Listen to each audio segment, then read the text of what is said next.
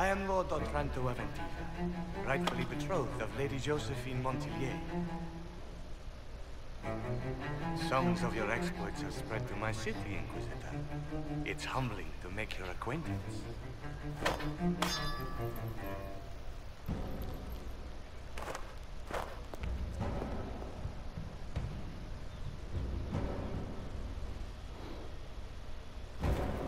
It is a pity it will not last longer.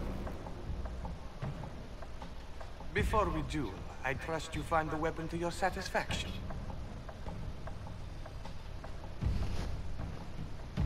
Am I not allowed to pick my means of defense? I am the wounded party in this duel.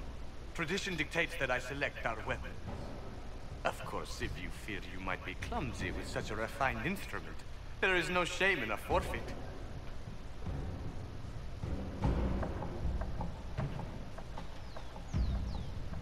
Trust you've made this a fair fight, Lord Otranto. Upon my honor. Shall we begin?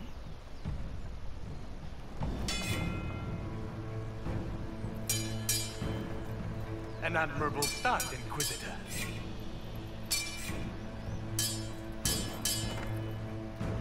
Perhaps House Trevelyan isn't the obscure backwater I've heard it to be.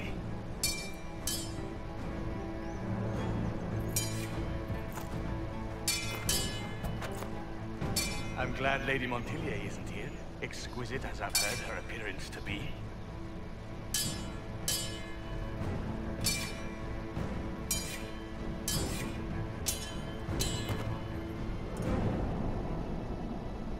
Cutting you down in front of Josephine would have given a poor first impression of House Otranto to my bride.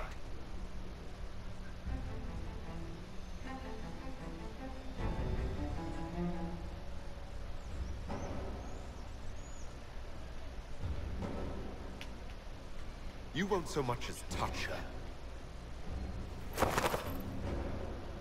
Neither will you, Inquisitor, unless you... Stop!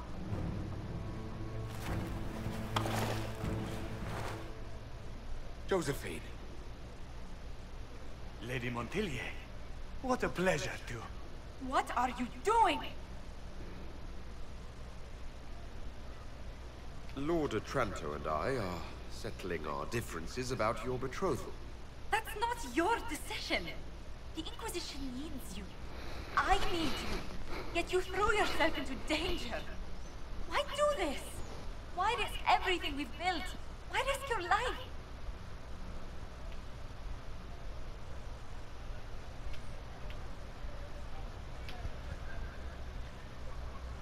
Because I love you. You... You do? He does? I wasn't quite sure until I said it, but... Yes. Yes, I love you. I love you too.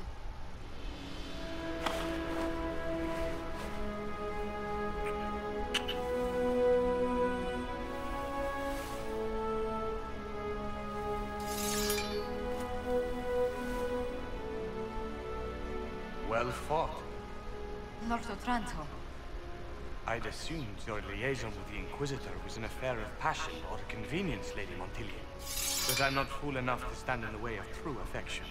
The Otrantos regretfully withdraw the terms of our betrothal. thank you. Do not thank me. I know when I'm outmatched.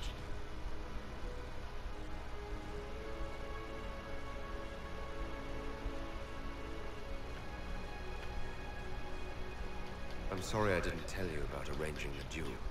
Given that you're in one piece, body and dignity, I forgive you. Just do kiss me again.